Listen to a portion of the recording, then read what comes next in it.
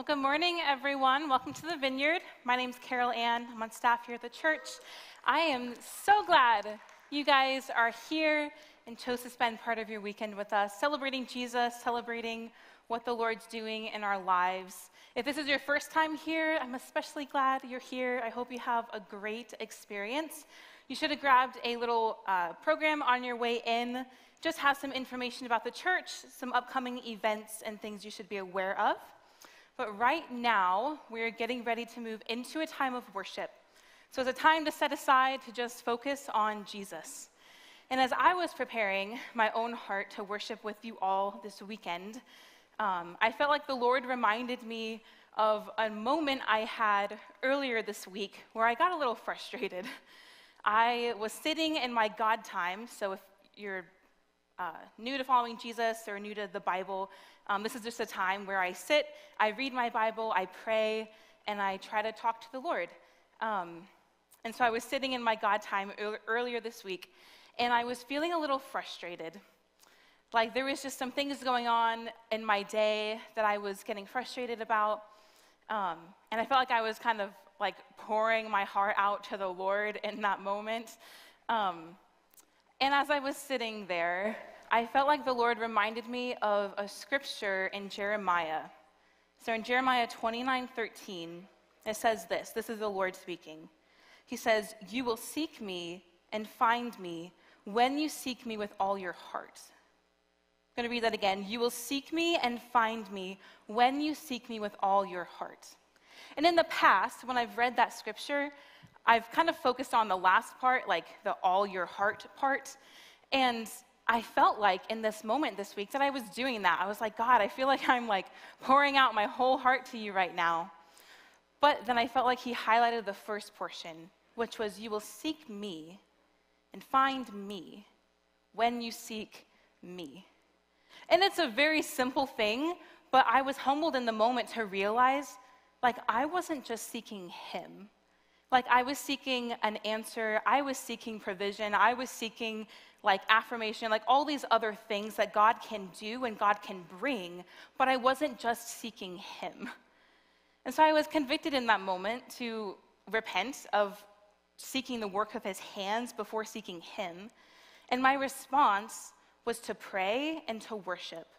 Because when I worship, it helps me reset my gaze on Jesus not on the problem, not on the frustration, not on anything else that has come up in my week, but just to focus on Him, because He deserves our full attention. Do you guys agree with that this morning? Like, He deserves our full attention. And so I would invite you guys to stand, and I'm going to pray that God would help us to keep our full attention on Him as we worship. So, would you pray with me? Jesus, I thank you for this group of people that are here, and they, uh, we, we just say, Lord, that we are here for you. I pray, God, that you would help us set aside any other distraction, anything we might have brought in with us that doesn't need to stay with us. We just set those things aside to focus on you alone and to seek you. I thank you that you're a God who wants to be found. And so we seek you, Jesus. I just pray that you would bless this time of worship. I pray for a blessing and favor over our worship team as they lead us. In Jesus' name, amen.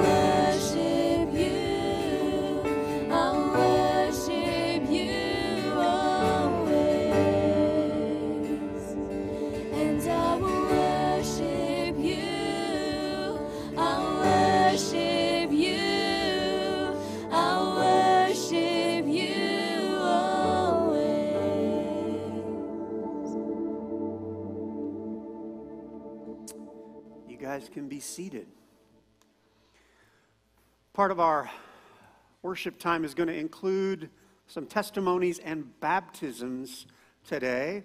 So if you're new to the church, you uh, may or may not know this. Maybe you've been around for a while, but typically the last weekend uh, of the month, we uh, offer baptisms for people who have committed or recommitted their life to Christ. And so uh, basically, well, I'll talk about that in a little bit. Right now, I've got three folks, guys, that are going to be sharing their testimonies. And they'll come over here, Charles and Selena and Heidi. If you guys want to come over and come up on the edge of the stage here, that would be great. Um, uh, just a little bit of introduction. Basically, testimonies are God stories. They're people sharing of God's activity in their life. And so it's a privilege uh, to hear a few testimonies this morning. So, Charles, I guess you're first. So come on over and everybody say, here's your part. You guys be nice. Smile. Everybody practice smiling right now because sometimes it can be a little nervous, you know, if standing a bunch of, in front of a bunch of mean looking people like you. Okay. Everybody say, Hi, Charles.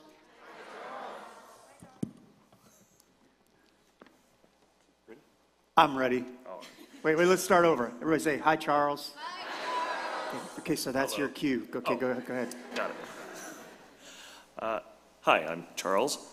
Uh, I was born into a Christian home. I grew up loving Jesus and was baptized at 12 years old. When I was 18, I slowly began to distance myself from Christ. I married an atheist at 23, and that drove me further away from Christ. I was in an abusive relationship and blamed my misfortune on God. I perceived my life to continue to grow sour, and I eventually became an atheist as well. In 2020, I began to pray, and this caused me to grow the courage to leave my abusive marriage. I filed for a divorce and obtained primary custody of my two boys in the process. During the divorce process, my mother, Tanya Lakava, uh, would watch my boys on the weekend while I worked. On Sundays, she began taking them to church here at the vineyard. Once I left the department I was in and had weekends off work, I started attending the vineyard regularly. Since coming back to Christ, my life has been forever changed. I found kindness, love, and joy through Marlene. we began dating and were married last July. My family grew. I received the large family I always wanted. Career doors opened, education became easier, and finally, a lesson that I have recently learned through Jesus is to stop focusing on the next big adventure and start focusing on what's right in front of me. I was granted and taught peace.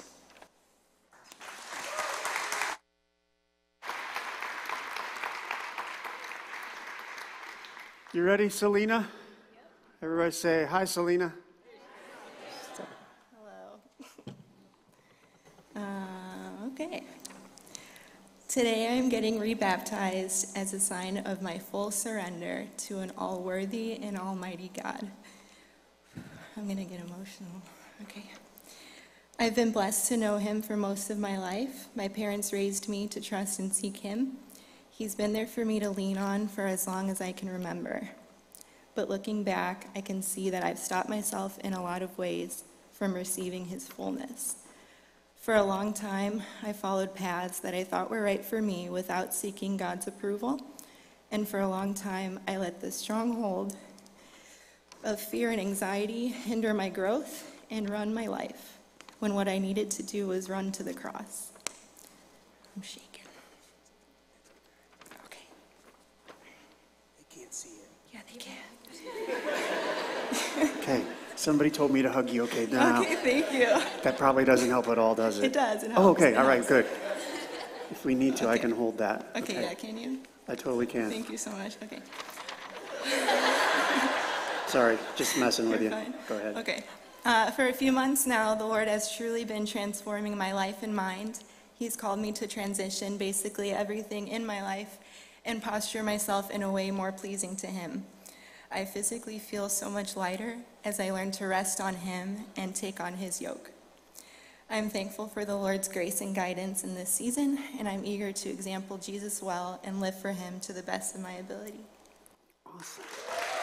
Great job.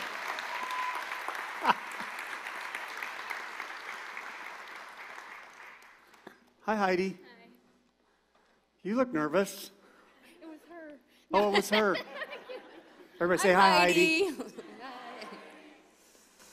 I grew up in a Christian home, a pastor's daughter, and such a daddy's girl that I believed without question that God loved me. But before hitting double digits, however, a pain and a loneliness began to grow in me that I couldn't explain, let alone know how to fill. Praying and trusting God loved me didn't seem to help. In high school, I began a five year relationship with someone who relentlessly confirmed I was no good. My 25 year self destructive path began there. Someone was finally dumb enough to marry this mess.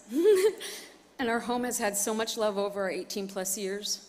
But my husband and my babies and my parents and few friends who didn't give up on me have watched and suffered through so much of my chaos alcohol abuse, drug addiction, depression, anxiety, attempts to leave them permanently. The list goes on.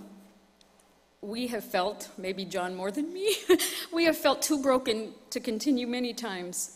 And the pain and the guilt of hurting my babies while trying to stop hurting myself has been indescribable.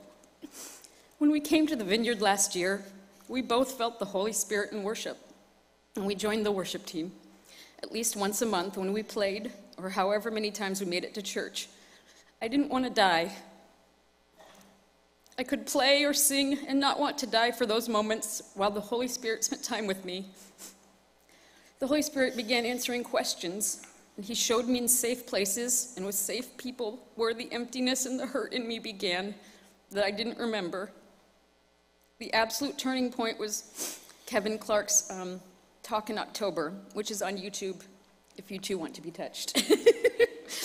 it hit me like a dumbbell that I could take the Holy Spirit with me everywhere, and that I could not want to die throughout the week too. These last three months have been an intense time of change. I'm not broken. I'm lovable. And all the things that I have been insecure about, I see as tools God gave me and to be thankful for them. I have begun being kind to myself. I am sober and all desire is gone. Life is still hard, and there are messes to clean up, but I have a peace, and it is there for me as much as I ask. If anyone here feels like they're broken, or that you too are a waste of space, or if you've cried in the night on the bathroom floor for God to take you away, or you are convinced that God made a mistake when He made you, I get it. I totally get it. I'm absolutely living proof that there is hope. And while I don't know what took so long, I trust God's plan, and I'm determined to bring beautiful from my ashes.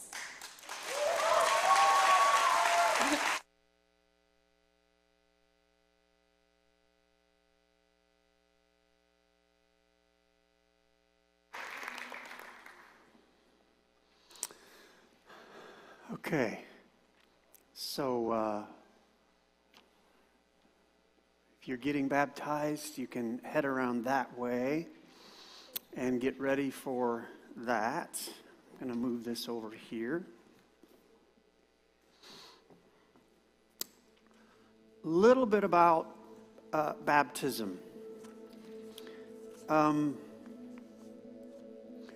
baptism is an outward and public sign. I mean, we're all going to get to watch of something that is more important than the whole water thing. It's an outward sign of what God's been doing on the inside of a person, which is washing. And uh, even from those testimonies, uh, likely some of us are aware of how life just gets, for lack of a better term, muddied up, muddled up, messed up. And uh, so, baptism is a sign that these people have decided the answer to the messed up is Jesus Christ. And so, a couple things that will happen. Uh, they'll come up and they'll get here into the tub with the leaders here. Uh, just so you know, they will be asked three questions. So if they're up there talking, you'll know what's going on. The first question is something like this Do you believe that Jesus is the Savior of the world? And they'll answer the question. My guess is they'll answer it yes. The, the second question is has you, Have you made Jesus your personal Savior? And they'll answer yes. The last question is a lordship question. And it'll be something like this Are you going to, as best as you can, live your life not for yourself, but for Him? Are you going to switch direction and follow Christ? And they'll answer that question. And then uh, the leaders will take them and they'll baptize. They'll take them under the water and they'll baptize them in the name of the Father, Son, and the Holy Spirit. So that's what's about to happen. Our job is to watch. We can celebrate. Chances are there'll be a, a point where we can applaud and celebrate with them and uh, uh, be thankful to the Lord for his activity around here and especially in these moments, his activity in these people's lives. Let me pray, and we'll get into the sacrament of baptism. Father, we need a bigger word than just thanks because the impact of your activity is huge. But we do just uh, try to express our gratitude to you for your activity in these people's lives. And we add our prayers to the so many prayers that they've probably prayed, but we add our prayers. God, would you just bless them, pour out your power, your love, uh, pour out the Holy Spirit as they walk through this sacrament, this holy moment of baptism. In Jesus' name, amen.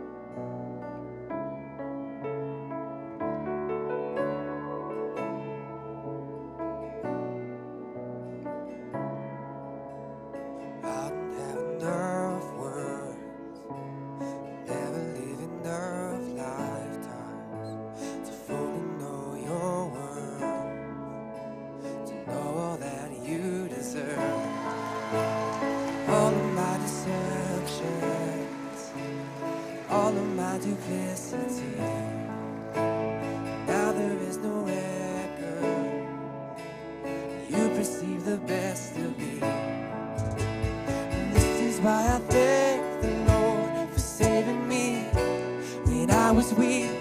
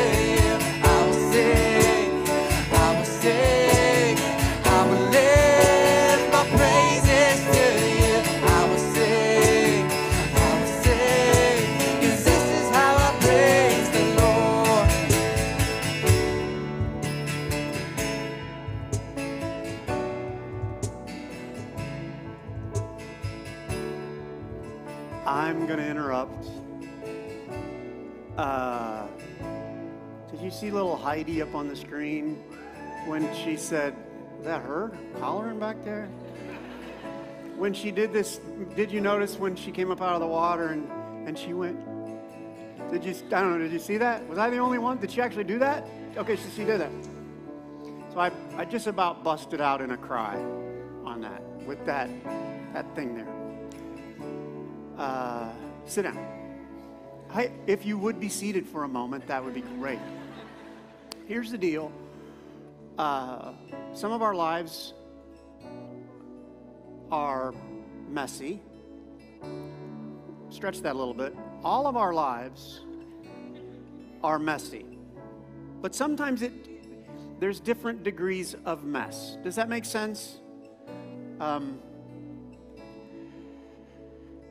that's because years ago sin entered the picture. Sin is when we're far from God, when we don't honor God. Sin can be can happen to us, right? There's times when our life gets messy and it wasn't really our sin that brought the mess. It was that other thing that brought the mess to us. Sometimes uh, the mess in our life is our own fault because we're the one who, right? But it just gets messy. And so, in real simple terms, becoming a Christian is acknowledging the mess of sin and then running or walking or kneeling something toward Jesus Christ, who is the answer for the mess of sin.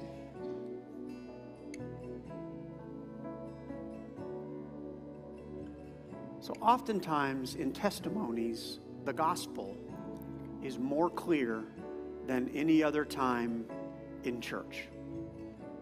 It just, I've, watched that for years. So, we're going to pause in case there's anyone that's sitting now that is out there thinking as the testimonies are going, your heart is aching because you're like, I want to, like that thing, that thing that's happening there in their life with this whole God stuff, like I want that to happen in my life, which is basically a confession of, I need help.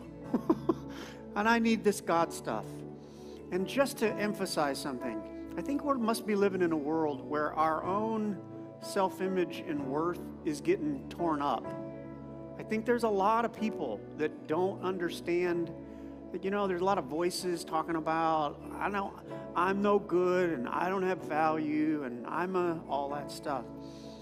And uh, the answer to that is getting to know God who has declared our value when he paid for you with the death of his own son. That's how you know the value of something. It's how much somebody will pay for it. And when he sent Jesus, Jesus declared that we are valuable to God. Does that make sense? Uh, Does that make sense? And so I'll stop rambling now because I'm probably not helping. If you need God, Jesus Christ in your life, I'm going to invite you to stand where you are. We're going to pray a prayer for you. Ready? Go. Anybody? Thanks. Yep. Anybody else? Yeah. Wonderful.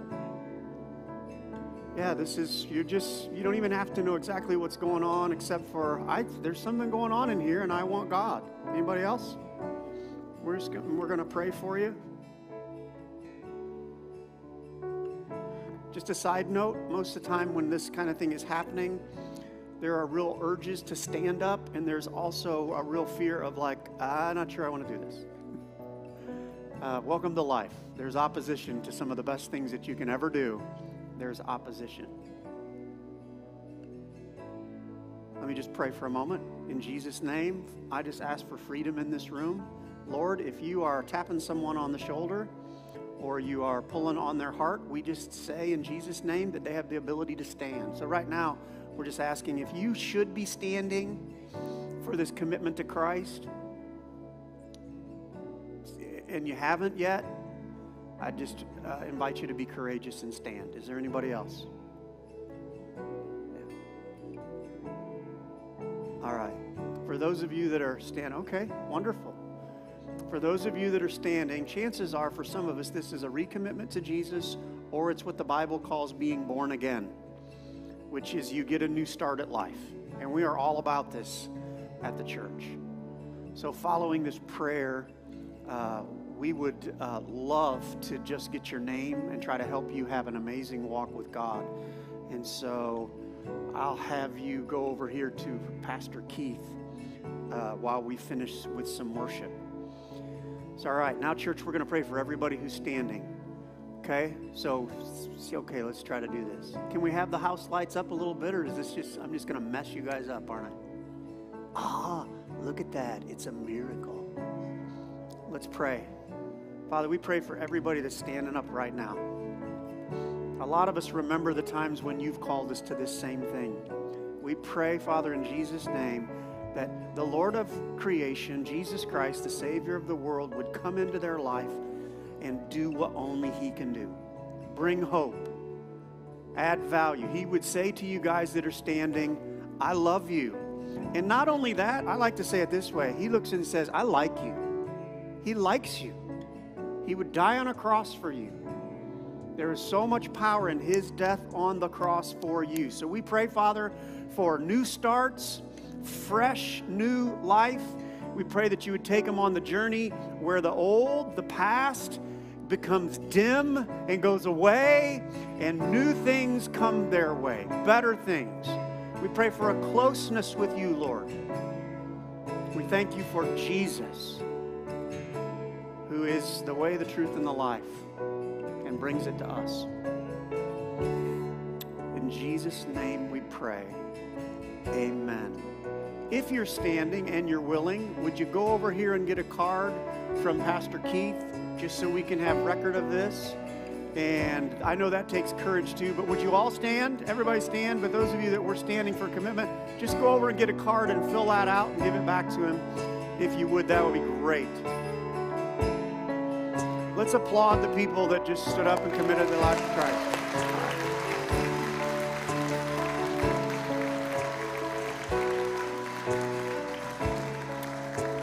We that we're that far behind, aren't we? Wait. I will sing, I will sing, I will sing my praises to you. I will sing,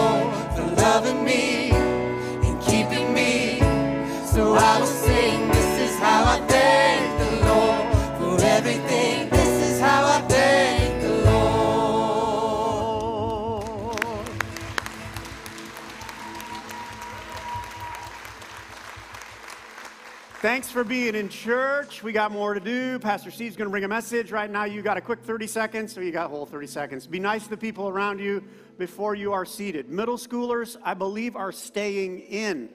All right? Greet each other, and then we'll get on to the rest. Thanks.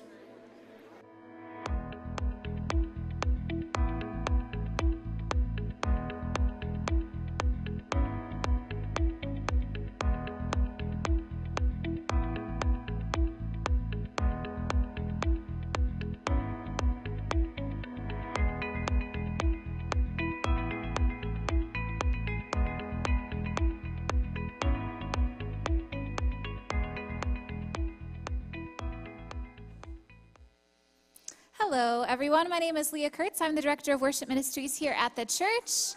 Thank you, thank you. Thanks for coming. Thanks for joining us this weekend. If you are, what is happening around here? Some family stuff going on.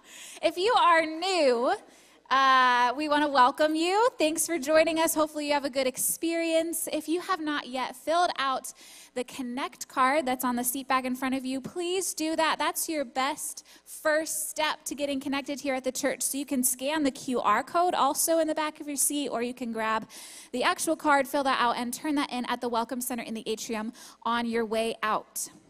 If you are looking for what is next for you, whether it be your walk with Jesus or how to get more connected at the church, we're actually starting something new. It's called Next.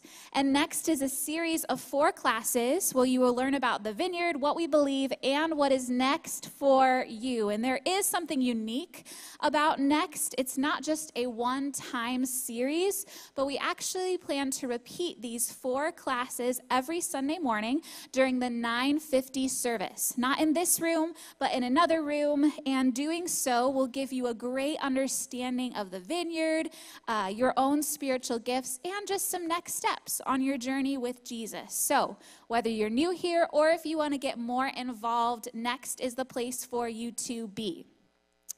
Here at the Vineyard, we value loving Jesus, growing together, and giving back. And each week, if you open up your program, there are a ton of opportunities in there to do just that. But one thing I want to highlight today is the Encounter Night of Worship. So it will be an evening full of worship and following the Holy Spirit, seeing what He wants to do for everyone that comes in the midst of the room. And this time, we're going to be trying some new things. For example, Encounter will actually be on a Friday night. Friday, February 10th. And because we are in this We Are Family series, we're going to try to make things a little more family friendly. So we're actually going to have a dedicated area, a special place for families with kids to worship. So there'll be a little more space over there. There'll be some creative things for the kids to do to engage in worship. And if you don't have kids or if you don't want to bring your kids, that's totally okay. Uh, there will be an entire section that's set up just like this, so it, you should feel right at home. Uh, but we'll ho- I hope that whether you have a family or if you're just coming by yourself, that you would come and worship the Lord with us. All right, we're about ready to move into our message time. So, if you keep your cell phone on, if you can make sure to turn that on silent now. And if you chose to keep a child in the service with you, that's completely fine. But if they get too restless, if you could take them out to the atrium where you can watch and listen to the message out by the fireplace. And in terms of offering, we don't pass a plate, but giving back to the Lord financially is one way that we can worship Him. So, we have offering boxes throughout the building, or if you would rather, you can look online at thevineyard.org slash give to find some other ways to give back. Uh, all right, with all of that, let's pray for the offering. So, Lord, a lot of us in the room have decided that we want you to be the center of our lives, and the center includes our finances. So, as we give back to you financially this weekend, we hope that you feel loved. We hope uh, that you feel honored. And we pray for the church leadership. We pray as they have to make uh, financial decisions that you would give them a ton of wisdom. We really want to make the best decisions regarding all of those things. So give us wisdom. We love you, and it's in Jesus' name we pray. Amen. Well, hello, everybody. I'm Steve Huffman. I'm one of the pastors on staff here at the church. It's good to see everybody this morning. A couple of quick things before I jump into the message uh, this morning. The first is uh, we have an exploring meeting. We're starting a new team here at the church. It's the Sanctity of Life team. So uh, if you have a passion or a desire to learn more about that team, and that team's heart is for the unborn, uh, just head to the chapel after service, and there'll be a quick 15 minute exploring meeting there. Also, want to let you know that on Friday night, this last week, we had 160 men in this room praying and worshiping, and it was a big deal. It was a kickoff of our men's groups. Those groups actually start this week, and there is space available. And so, if you're a guy in the room and you want to find other guy friends with a passion for Jesus or begin to learn about Jesus, those groups are for you, and they start this week. Just head to the Resource Center after service, and that can be helpful to you. Today, we're going to be in Luke chapter 17. Everybody say 17. Okay. Before I get there, I need to tell you a story I'm not proud about. This last uh, two weeks, uh, someone in my family had a routine medical test that they needed to get done. And it's one of those tests that you have to schedule, you have to take a little bit of time off work, and you have to get your health insurance to approve it. It wasn't this huge test, but it's just that's how the process goes, right? You have to take time off work. So we figured this out. I took some time off work to, to handle it, and uh, a few days before the test was going to occur, the doctor's office called and said, Hey, we've not heard back from the insurance company. And I spent the better part of 20 years in healthcare, and uh, this is not rocket science. Getting healthcare uh, insurance companies to approve te- just simple tests like this. And so when I got that call, this part of my life Jesus is still working on. Because what makes me sometimes frustrated is when healthcare gets sort of sideways. And so within two minutes of getting that call, I called the insurance company. And I hit the customer service number, and, and gentleman on the other end of the line picked up, and I said, Hey, got this test, seems simple, it's not approved. And he started asking very odd questions about other family members that weren't having a test. And within like 30 or 45 seconds, I knew this call wasn't going well. And so I, I stopped him after probably 90 seconds in. I, I said, Sir, this, this is just not going anywhere good. I'm wondering if we couldn't get a supervisor. Like, can we get, and he agreed. He's like, yep, we probably do, no problem. And so he put me on hold, and uh, two minutes later, he came back on the line and said, I actually wrote it down, he said this I can't find a supervisor. That's what he said. And my, I don't know about you, but in the moment, it wasn't my best moment. I'm just being transparent. My, I didn't say anything, but my mind started wandering. I wanted to ask him, Did you even look? But I knew that that wasn't probably. And so I finally just ended the call. I'm like, This, this is probably not going to get resolved today, so why don't we just end the call? He agreed, and we ended. Now, I, I hung up the phone, and I had two thoughts cross my mind. The first was I was frustrated because the, the thing wasn't resolved, and we're going to have to reschedule the test, which got taken care of, right? But I was still frustrated. And then the second thing that crossed my mind was I didn't do very well at that call. I went from zero to frustrated pretty quick, and that's not fair. And, and it- got me thinking that we're beginning, I don't know if you agree with me, but I'm beginning to see the world rush from zero to mad in about a second. Like, we're living in a time where culture is quick to cancel, yell, argue, post a hot take online, and it doesn't seem to be working. Would you agree that it's getting a little crazy? It, and I was bothered that I was participating in a way like our culture was, and I didn't like that. Now, I'm all for if there's a wrong, for it to be right. I'm all for justice. But as I was thinking about the world that we're living in today and thinking about this call that I, that I had with this gentleman, I didn't show him a lot of mercy. I didn't yell. I wasn't a big jerk, but he knew that I wasn't happy. And nothing got resolved. And, and I didn't I didn't allow mercy. Well, here's what mercy is, just for a working definition, because we're going to build off this today. Mercy is compassion, didn't have a lot of that, or forgiveness shown towards someone whom it's within one's power to punish or harm. Not just punch, not just get, but you can, um, do you know you can emotionally harm someone? And so that's, I didn't show much compassion at that time. And just to be clear, as a follower of Jesus, as we look at that definition of mercy, if you're a follower of Jesus, you have experienced the greatest act of mercy time will ever tell. Because if we look at that definition of mercy, God has the ability to punish us. There's no doubt about it. Read the Bible.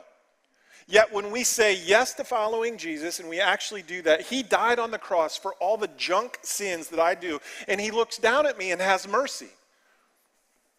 God is merciful. Look at this. Exodus 34 describes this. It says, The Lord, the Lord, a God merciful and gracious, slow to anger, abounding in steadfast love and faithfulness. That's just good news. And the mercy that God shows me and you we're supposed to share with other people. Jesus shares uh, at the Sermon on the Mount in Matthew 5, he shares this Blessed are the merciful, for they will be shown mercy. We're supposed to be merciful. In, in Luke, Jesus teaches a similar thing, and he says, Be merciful just as your Father is merciful. There's unquestionably a command for us to show mercy to other people. And the risk is, if we don't, is really clear. It's look at the book of James. It says this there will be no mercy for those who have not shown mercy to others. Here's where we're headed today. As Christians, when conflict arises, we have to figure out as a Christian family how to do it differently. Because the way the world is doing it isn't working. And I need a better model in my life when conflict arises, and the world needs to see something different. And so before I unpack the text in Luke chapter 17, I want you to just to think, before I get there, I want you to think of a person that you've got some conflict with. Maybe you don't have conflict with anybody and you should be preaching this message. But likely most of us have some conflict with family members, or maybe it's an insurance company, or somebody at work, or whatever it is. I want you to think about that person.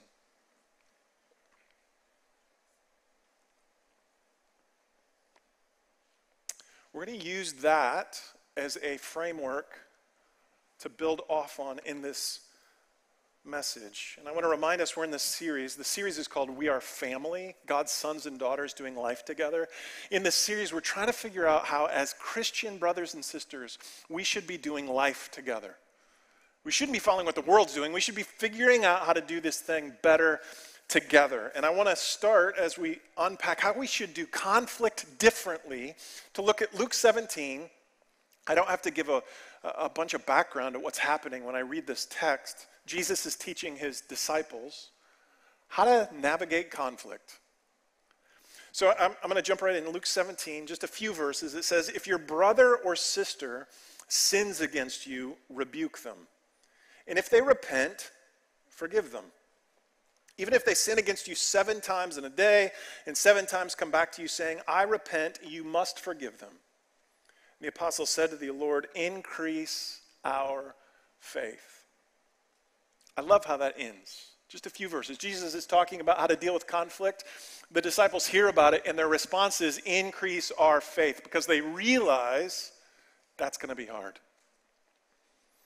And so, as I unpack what I'm learning in these few verses, I want to share that it's the right model to deal with conflict. Let me pray before I hit these two things I see. So, Father, we thank you for your word, how clear it is. And I pray, God, as we have thought earlier about someone or a situation we had conflict in, that you would guide us, teach us this morning, I pray. In Jesus' name, amen.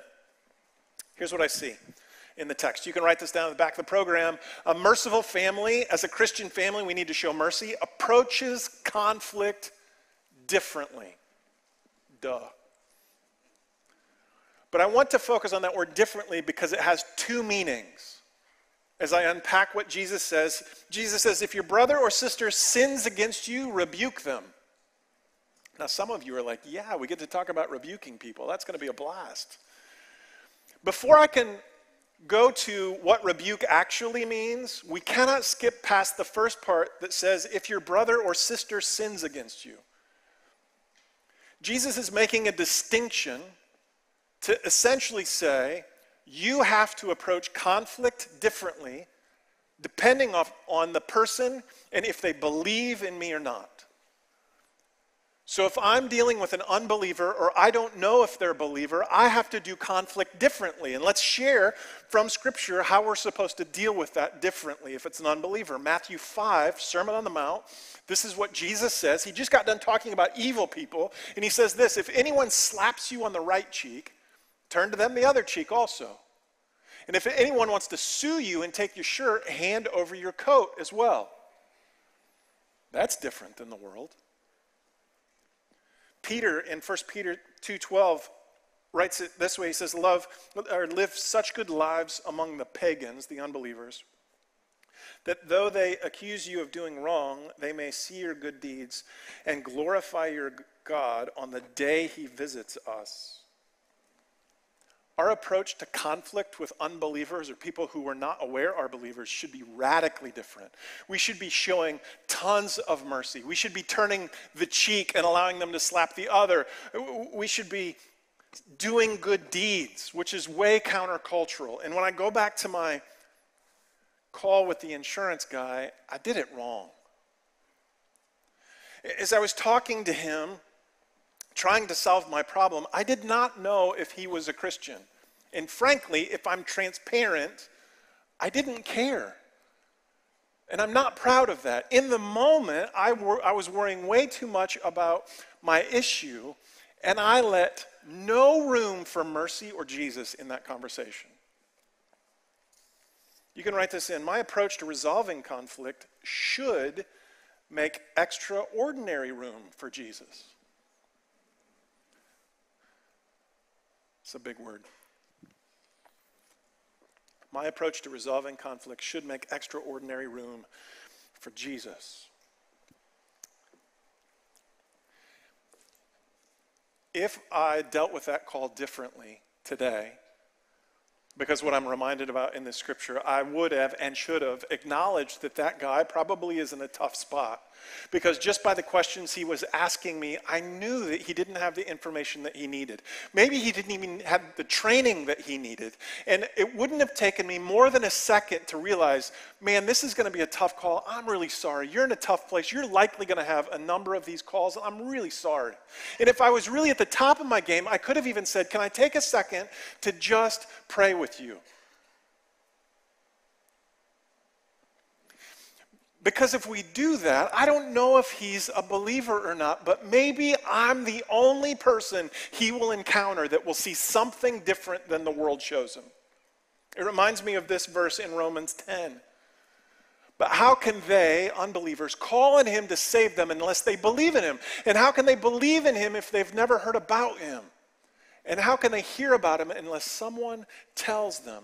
And what if the someone is us?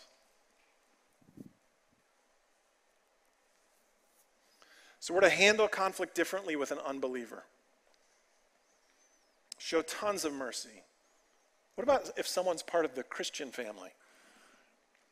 The text says if your brother or sister sins against you, rebuke them. Now we get to the fun stuff. Now we can talk about rebuke, right? But maybe rebuke doesn't mean what you think it means. Here's what rebuke actually means it means to express strong disapproval of someone to speak seriously, warn in order to point out another's mistake, fault, or sin for the purposes of correcting behavior. The purpose of a rebuke is to not get what I want. Let, let, me say it differently. Telling someone they're stupid is not a rebuke. Talking about someone behind their back telling other people all the problems this person is causing in your life, that's not a rebuke. Rebuke doesn't mean yelling at someone, minimizing, demeaning them, posting a hot take about them, punishing them, canceling them, or punching them.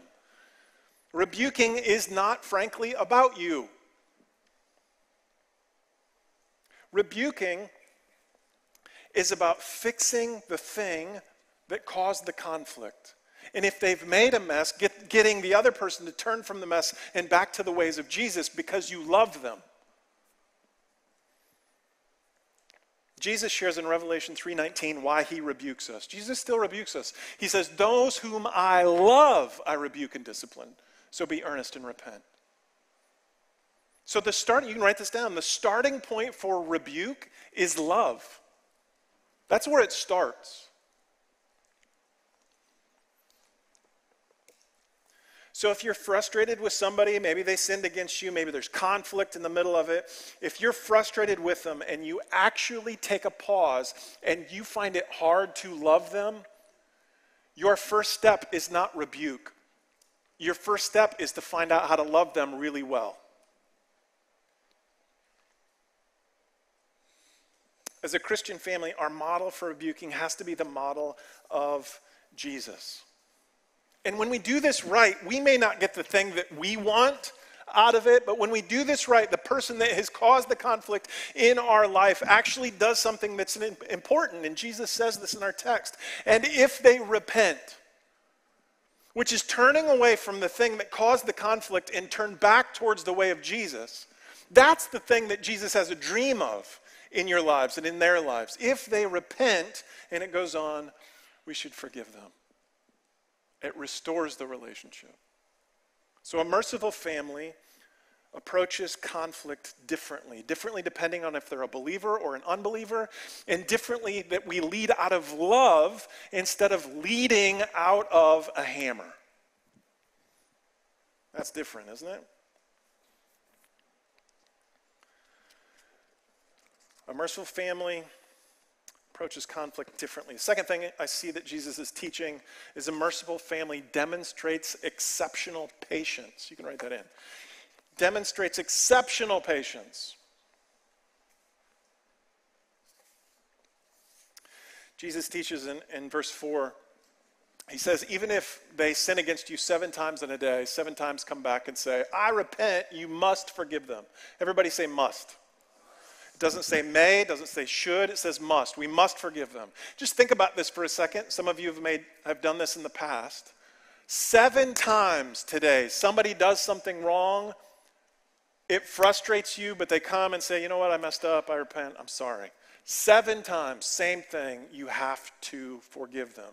And here's what forgiveness means. I think it's really important for us to realize this. Forgiveness is to release the person from legal, moral obligations or consequence.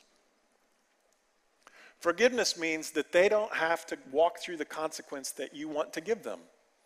It means you release them from all of that. That's a lot of mercy, isn't it?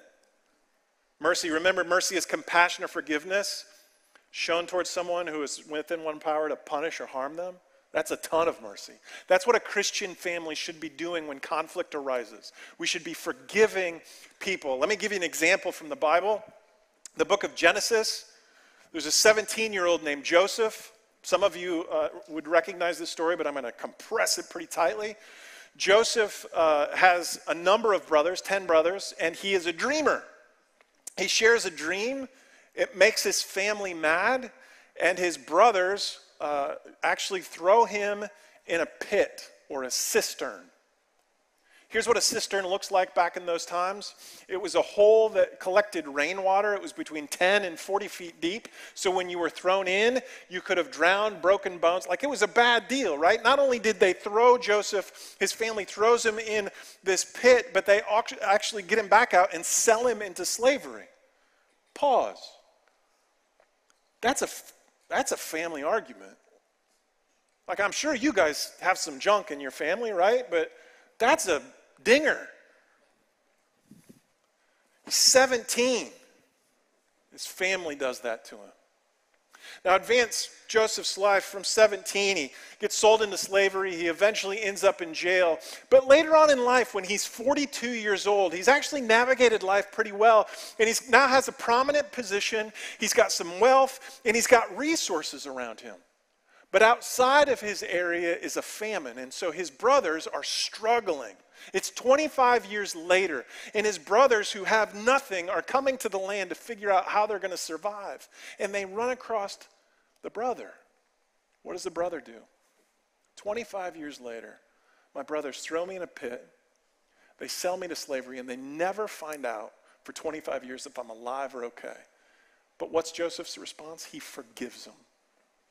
Patient forgiveness. In this verse, I love this verse uh, I've read it a couple of times, but never focused on the last sentence. Look at this.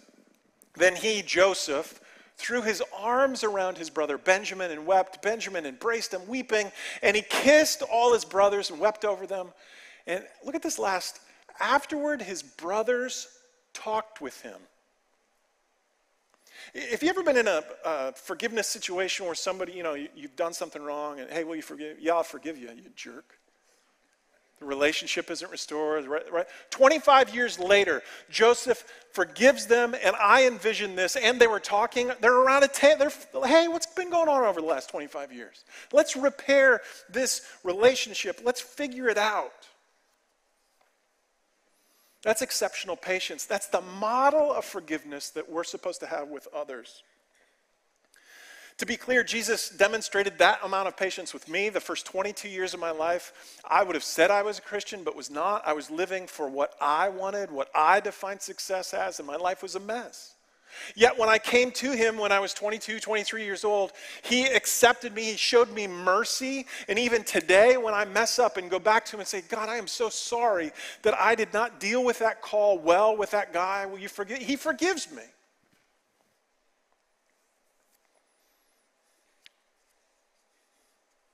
It's the same thing we should be doing with others. And as we close today, I want to make something really practical about this. How patient are we when conflict arises? How willing are we to show exceptional patience and mercy with people? Because if we don't do that, there's risk. Now, think about this. Think about the conflict in your lives. How quick are you at offering forgiveness. Some of you uh, might be like Mary Poppins and you're practically perfect in every way. But I don't know about you, I, sometimes I struggle with this. And I, it reminded me of this quote from Desmond Tutu. He's an archbishop, Christian guy. You can write this down. Desmond Tutu says, Without forgiveness, there is no future. When he wrote that, he was talking about nations. He was talking about this huge concept, but at the core of it, what he was getting to is your nation, city, family, friends, they will have no future if at the core of it you cannot forgive when conflict arises. Because conflict just begets more conflict. It just grows. Look at the world today. It's just growing, conflict upon conflict. We're just reducing the amount of time that we're yelling at one another, and it is not working. And in that, there is no future. Jesus even shares in Matthew 6 For if you forgive other people when they sin against you, your heavenly Father will also forgive you. But if you do not forgive others their sins, your Father will not forgive your sins. Without forgiveness, there is no future. And I think it's time as a Christian family to display exceptional patience, to show mercy that the world is not seeing, to do family and conflict radically differently. It means a merciful family approaches conflict differently and demonstrates exceptional patience. Now, before I stand and close, there's a prayer at the bottom of your handout. Do you see that? I want you to think back at the person that you had conflict with, someone who has hurt you in the past, and maybe you haven't forgiven them. And as we close today, I'm actually going to pray over you this prayer. So, actually, I want you to think about that person. I'm going to give you 10 seconds.